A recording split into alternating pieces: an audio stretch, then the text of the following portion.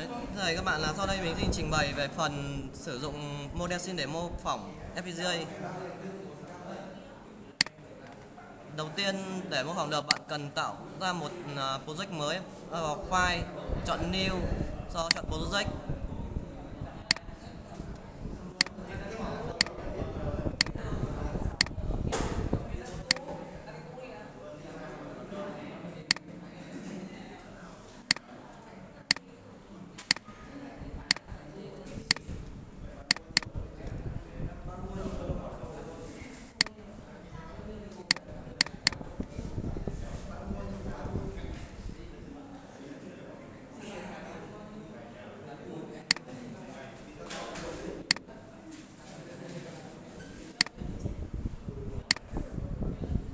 Bạn sẽ đặt à, đầu tiên mình làm mạch o hai đầu vào.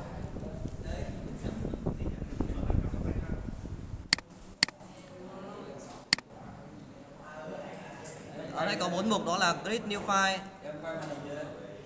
Được rồi. Create new file, file và similar file create new folder thì ở đây ta chọn một ờ, tạo ra một tài liệu mới đặt tên là O2 ngôn ngữ đã chọn viết là VSDL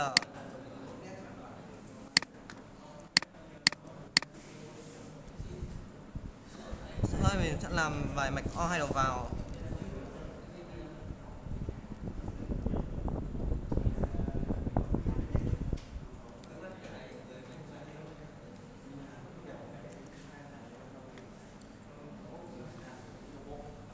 Sau khi bạn gõ xong bài mạch lập trình thì bạn thần Ctrl S để lưu lại. Để kiểm tra xem chương trình mình viết đúng hay chưa, bạn vào compile ấn Compion nếu thỏa thành công thì chương trình sẽ báo là compile IO2BS là vua successful để phần giả lập thì bạn kích vào Similar chọn Start Simulation. Ở trong phần Start Simulation trong thư mục Work, bạn chọn mạch bạn vừa đặt tên đó là O2 và ấn OK.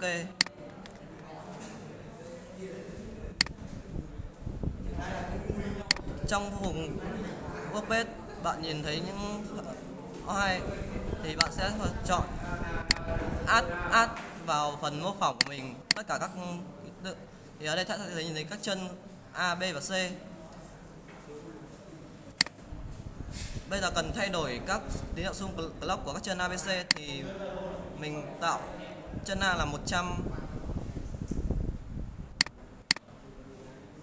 chân B khởi tạo là 50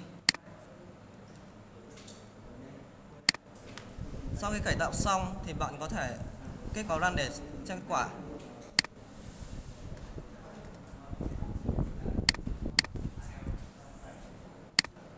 Thì như đã thấy ở đây, nếu tín hiệu chân A B11 chân C ra là 1 A ra 1 B0 là tín hiệu C là 1 A bằng 0 B bằng 1 thì tín hiệu ra 1 là chỉ có trường hợp là A bằng 0 B bằng 0 thì tín hiệu C sẽ ra 0 mạch O hay đầu vào.